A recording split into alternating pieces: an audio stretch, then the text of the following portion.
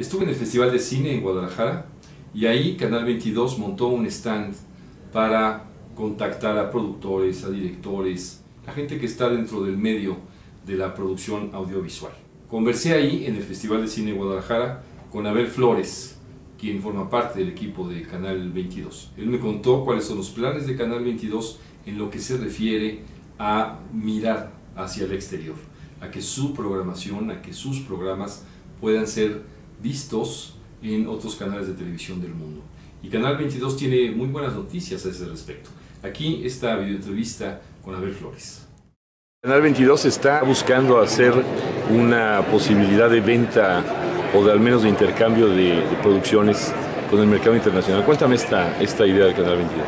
La idea es eh, ampliar el mercado de ventas eh, internacionales de Canal 22. De algún modo el intercambio lo hemos efectuado ya muy bien con países latinoamericanos como Argentina, con Canal Encuentro, en Colombia, Señal Colombia, TV Cultura de Brasil, Estamos firmando un convenio con RTV de Chile, con Vale TV de Venezuela. Nuestro interés es también que nuestras producciones eh, se vean en la mayor parte del mundo posible y si es a través de una venta, qué mejor. Entonces la presencia de Canal 22 en el Festival de Cine de Guadalajara es para dar a conocer a todo el mundo un poco lo que es la producción. Estamos haciendo eh, varias cosas eh, a nivel internacional. Nuestros programas se pueden ver en, Argentina, como lo comentaba, en Colombia, en Chile pero a su vez también tenemos eh, proyectos de coproducción.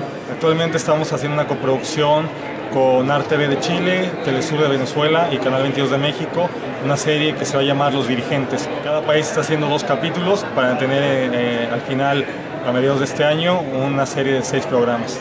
Con Europa, con Estados Unidos, ¿Cómo, ¿Cómo está la cuestión? ¿También están explorando por ahí posibilidades? Estamos explorando ahora el mercado de, europeo, el mercado de Estados Unidos. Sobre todo nos interesa mucho el mercado hispano en Estados Unidos. Hay un auge de, canales que están surgiendo allá para la comunidad latina y están buscando contenidos. Eh, ya hemos tenido algunas propuestas, ya hemos firmado algunos contratos con algunos canales de, Estados Unidos para eh, comprar las producciones de Canal 22. Canal 22 se ve en México, se ve a nivel nacional, pero también se ve en Estados Unidos por Canal 22 Internacional. La señal de Canal 22 Internacional es una programación distinta a lo que se puede ver en México, porque está integrada 100% con producciones mexicanas y también estos convenios con eh, los países latinoamericanos permitirán que eh, los programas de Argentina, de Colombia, de Chile se puedan ver también en Estados Unidos a través de Canal 22 Internacional. Actualmente eh, estamos calculando una base de, 2 millones de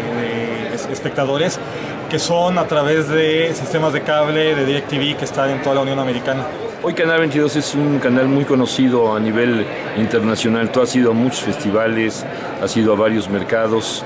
Cuéntame cuál es tu percepción sobre, sobre esta, esta, importancia que tiene ya el 22 y este, esta fama que ya tiene el Canal 22 a nivel de, América Latina y de otros países. Canal 22 ya se eh, posicionado muy bien como televisora pública, como televisora cultural, principalmente en Latinoamérica como un canal que va a la vanguardia en, cuanto a contenidos, en cuanto a su producción. Estuvimos hace un par de semanas en Río de Janeiro, en el Río Content Market, en donde en Brasil, por ejemplo, ven a Canal 22 eh, como el, estándar de, calidad que debe tener una televisora. Nuestro objetivo es que también se conozca en Europa, en Estados Unidos, en los mercados asiáticos, a través de convenios, por ejemplo, que vamos a firmar ahora con Arirang TV de Corea del Sur